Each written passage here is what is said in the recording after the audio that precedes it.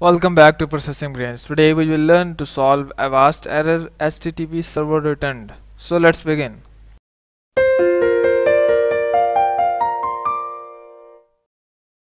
So we are facing the HTTP server error when we try to update Avast antivirus.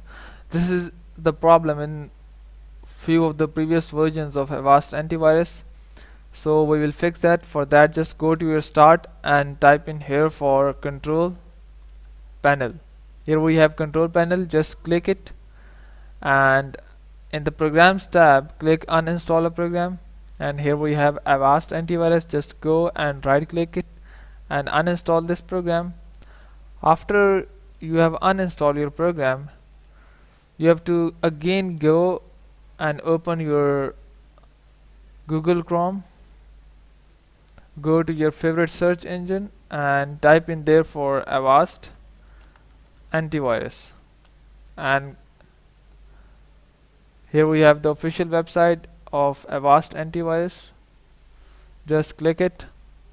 So here we have Avast antivirus website avast.com so you can just go and click on free download or your respective download version and install your Avast antivirus actually the problem is with the previous versions of Avast antivirus that they didn't have the quality update feature.